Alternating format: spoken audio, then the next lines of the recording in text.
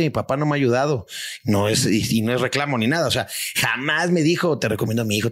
mi papá me dijo, aquí está el apellido, ¿lo quieres o no?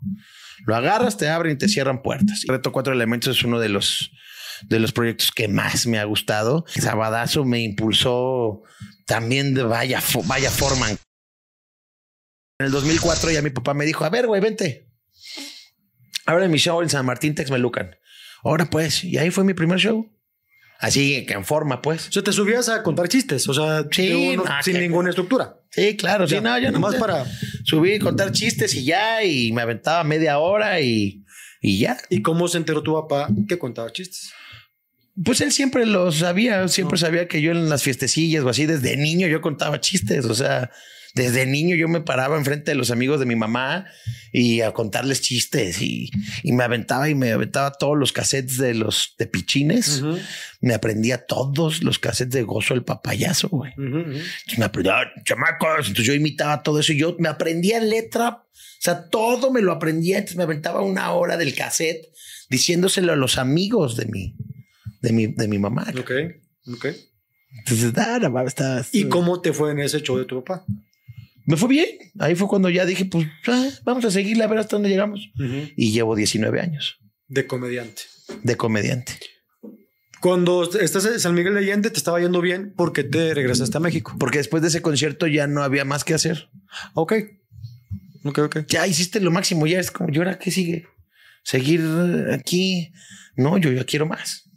Me motivó mucho el hecho de, de ver que podía entrar a Big Brother porque hice casting y todo, pero por ser hijo de no me metieron, porque era el, eran para gente desconocida. desconocida. ¿Cuál casting hiciste? Y después hice el 2, Big Brother 2, ok no el 1. Déjame acordarme. Es que el del 1 gana Rocío, ¿verdad? Creo que fue ahí donde estaba el Rasta y donde estaba Sí, Diego, la Mapacha, la, Mapacha, exacto, exacto. El Pato Zambrano. Exactamente. Ese fue primero. El segundo, no tengo creo que entra Poncho de Nigris en ese. Ah, creo que fue Poncho de Nigris. Creo. Ahí, sí, fue en ese. Sí, fue en ese. Y no entré porque se enteraron que mi papá era el, el Tony Balardi. Ya. Entonces me dijeron, no, pues igual en el VIP. ahora para entrar al VIP tienes que ser famoso. Chica tu madre.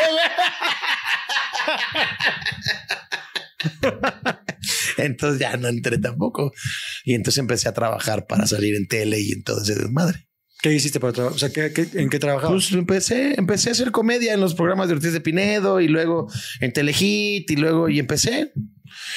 Empecé y yo era el, este, yo no tenía el Balardi en ese entonces. ¿Cómo te después? Archie. Archie nada más. Ok.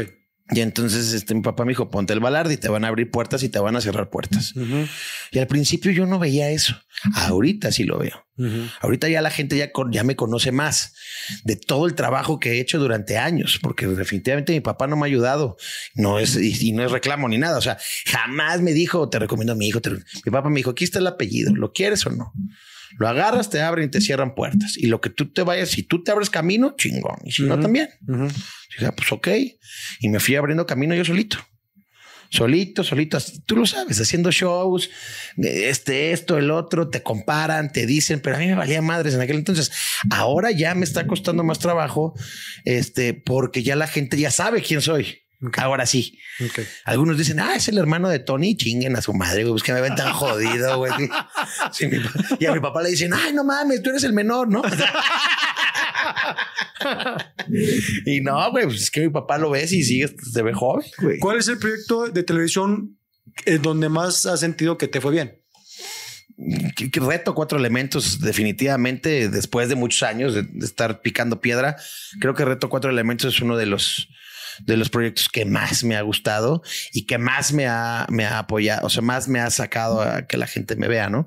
Pero Guerra de Chistes definitivamente fue el que me dio a conocer. O sea, sí, Fábrica de Risas con Ortiz de Pinedo, pues sabían que era el hijo de, y pues, ay, se veía el chavito que estaba como que, como que saliendo y así, pero este pero definitivamente creo que Guerra de Chistes fue el que más me, me impulsó, que más salí. Luego Sabadazo, Alexis Núñez, el productor, este productor cubano que, ha hecho muchas cosas maravillosas. Y Sabadazo me impulsó también de vaya, vaya forman como el que lo ha hecho, ¿no? Y ahorita últimamente Distrito Comedia. La verdad es que ahí Haitovich y Jurgan, este, y Xavier, que son los que están ahí dirigiendo todo, el Borrego también en cierta forma ahí también tiene injerencia, están apoyando mucho a muchos comediantes de, de mi generación y a otros más chavos, ¿no? Entonces, ahorita Distrito Comedia. Creo que ahorita también Distrito Comedia me ha dado mucho impulso, pero lo que es lo que fue Guerra de Chistes, Sabadazo fueron de los que. Y bueno, y cuando estuve en Sábado Gigante, pero Sábado Gigante fue más internacional. Porque cuando estuve en Sábado Gigante, pues también me, con Don Francisco también me impulsó muchísimo. ¿Y era solamente eh, contando chistes o hacías sketches? Contando chistes. Contando chistes. Sí, en, dinámicas de concursos ahí con Don Francisco. Bien, bien.